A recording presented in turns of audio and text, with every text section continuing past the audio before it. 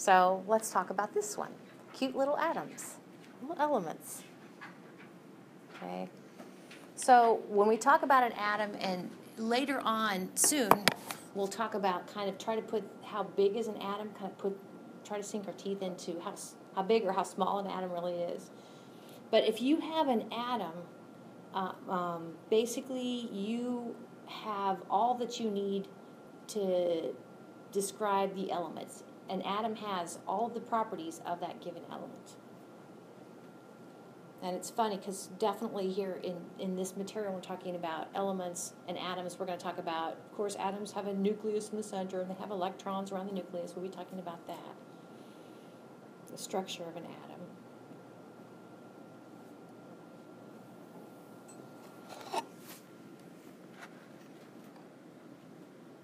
Okay. So I'm bringing in this table again. I don't think you necessarily have this table. We looked at this. Um, how do you like classify matter? Okay. Well, matter can either be a pure substance or it can be a mixture, and we talked about two different types of mixtures. But if it's a pure substance, okay, the options are that matter, if it's pure, it's either element or it's a compound.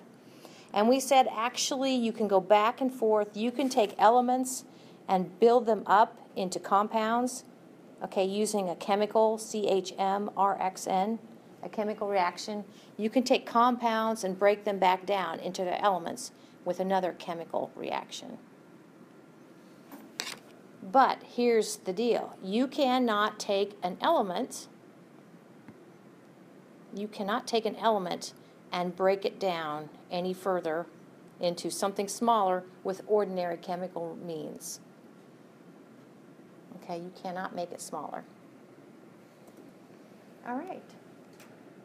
So I brought your first, this periodic table is the same one as you have um, like in your packets. Okay? And this is the periodic table that you will get, clean periodic table for yeah, it's the same one, exactly. You'll get a periodic table for your test, and this is what it will Can't match my periodic tables. They're just lovely.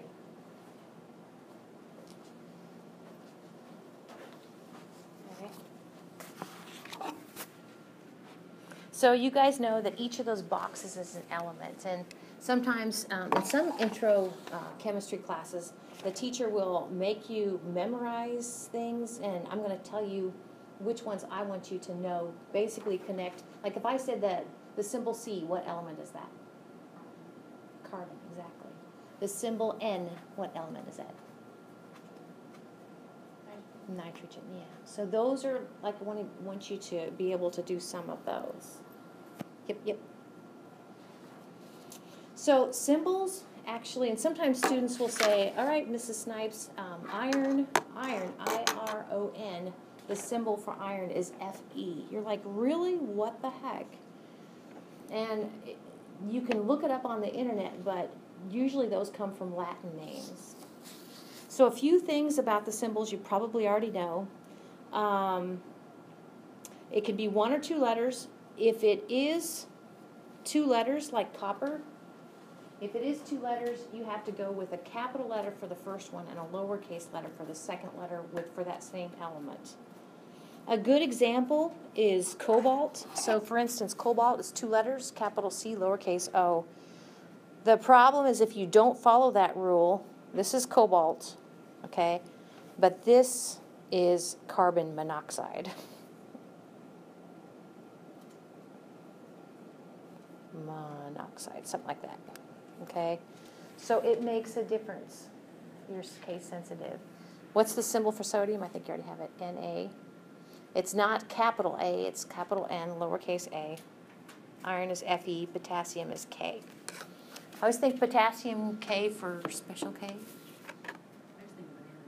Bananas, yeah, they have a lot of potassium. I don't know why that relates to K, but I think. think of the kind of the how a how a banana is shaped. Maybe it kind of looks like a K. Uh, we don't have any, neither does uh, Mr. Salee, a microscope that can actually look at individual atoms. It gets complicated, as you might imagine, but if we zoom in on copper, we can actually, with a scanning electron microscope, actually get a sense for where the atoms are. Again, we don't have one of these sort of microscope, but you can kind of see a texture to the atoms. The atoms are arranged, in this case, in a solid state. Um, when we talk about um, atoms, some of the things, I'm not going to animate this because it doesn't do much, but this is an atom. That's one big atom. Okay, the thing in the center is a nucleus, and you can kind of see the two colors. In the nucleus, we have the protons and the neutrons. And then what are, what's that buzzing sort of? What's this out here? Electrons, exactly. I mention that because to me, if you look, and we're going to try to put that in perspective, oh my gosh, it is amazing, relatively speaking, how small the nucleus is and how much basically the electron cloud makes the volume of an atom. So when I look at this sort of egg carton looking thing up here with uh, um, the copper atoms, I kind of think as those are kind of electrons.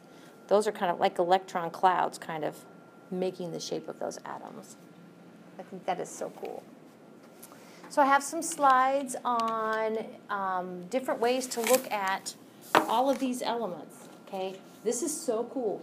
Um, matter is made up of atoms and atoms of different elements, and um, all of the matter in the universe, all the matter in this room, all the matter of this Earth, the solar system, this universe, actually can be broken down in these different elements. Now we are making more and more, not we, but somebody is making more and more heavier elements. I'll kind of kind of draw your attention to this part right here. And it's a big hairy deal.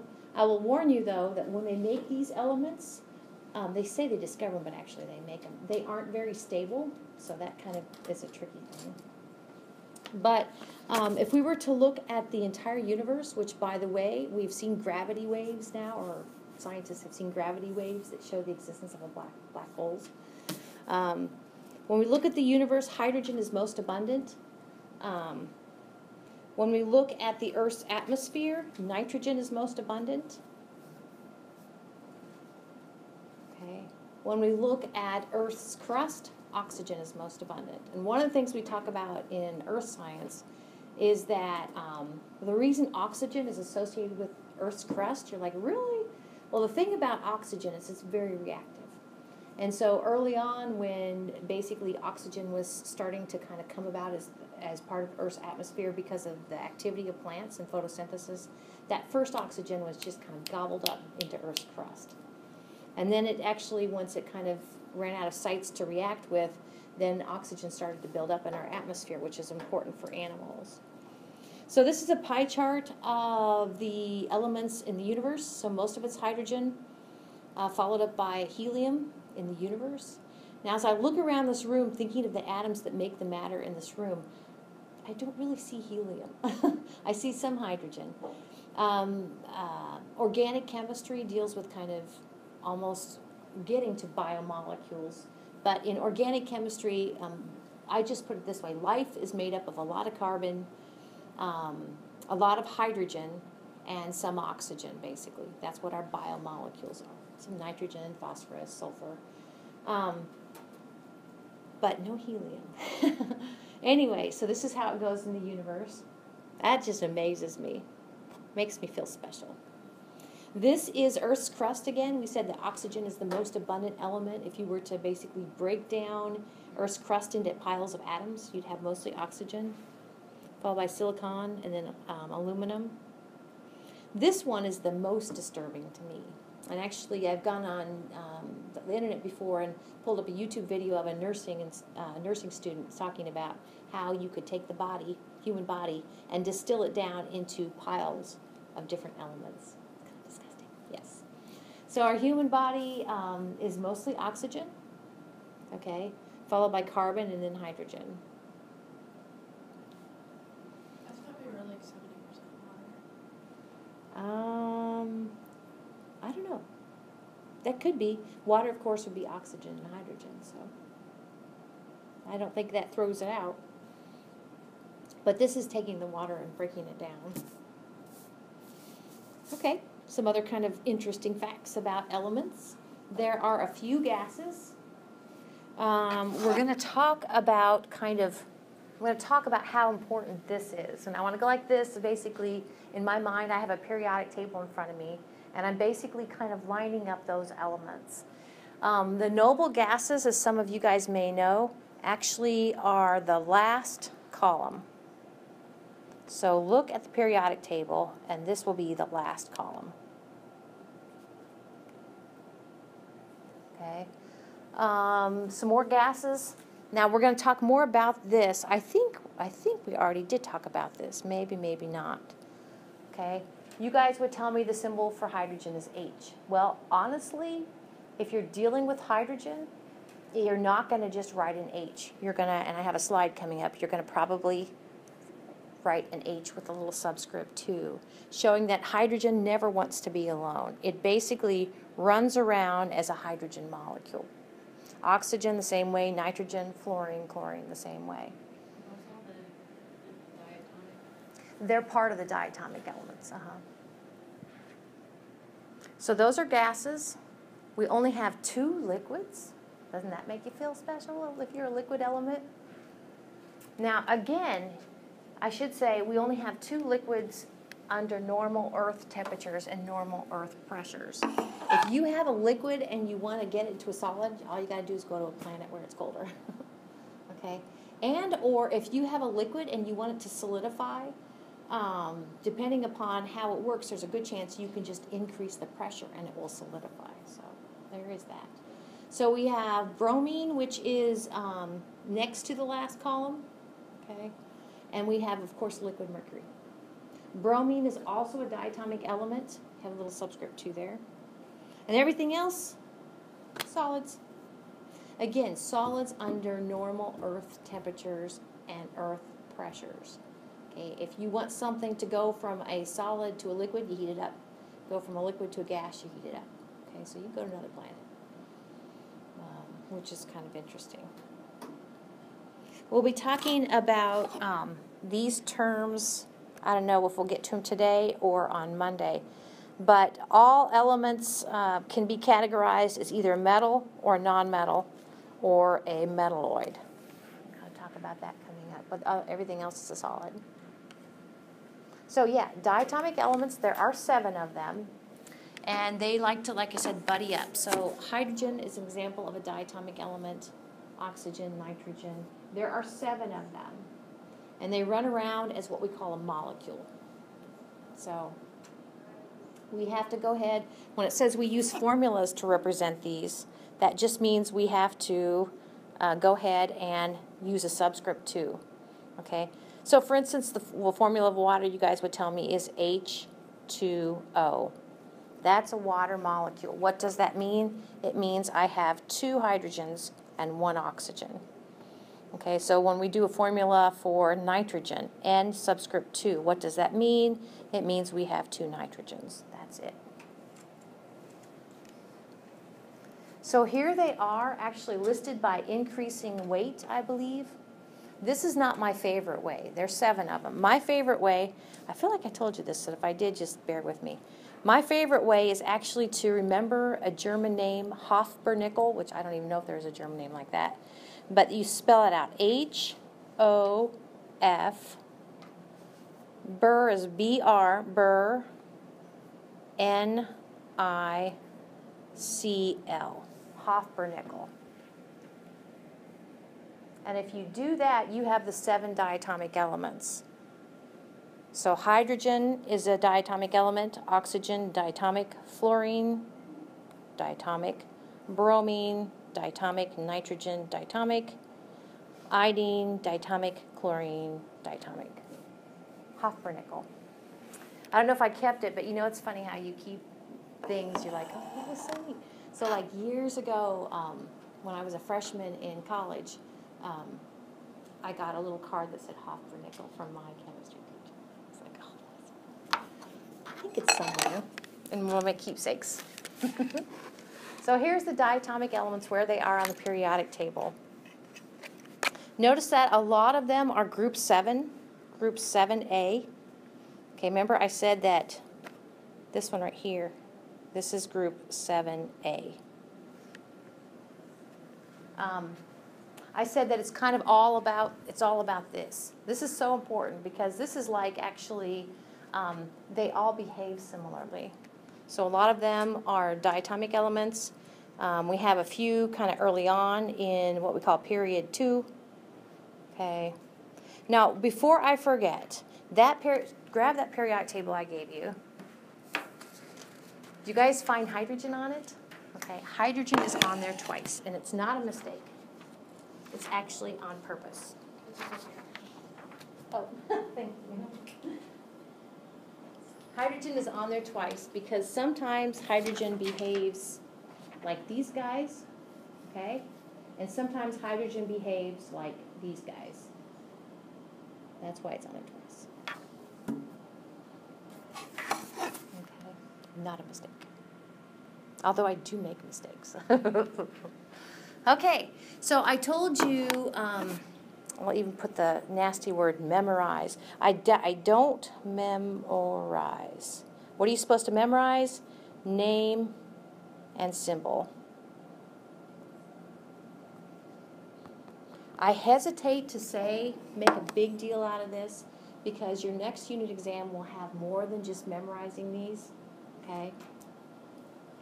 But these are listed, you're like, 20, what the heck is 20? Well, if you grab your periodic table and try to find what I call the whole number 20, that's calcium. Okay, so calcium is, an example of you need to know calcium is Ca. You're like, okay, let's pick another, another one. 86. You're like, 86. What's 86? Somebody find 86 for me. There it is. It's RN, and that's radon, actually. Okay? So that's another one. You need to memorize the symbol and the name. While we're at it, actually, is there another one coming up?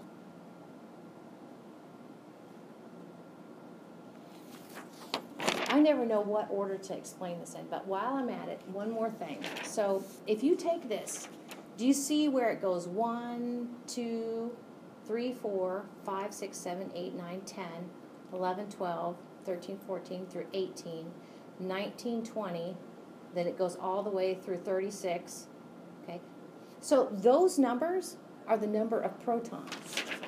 You know, we talked about protons, neutrons, and electrons. Those numbers are the number of protons. We call it the atomic number. We're talking more about that.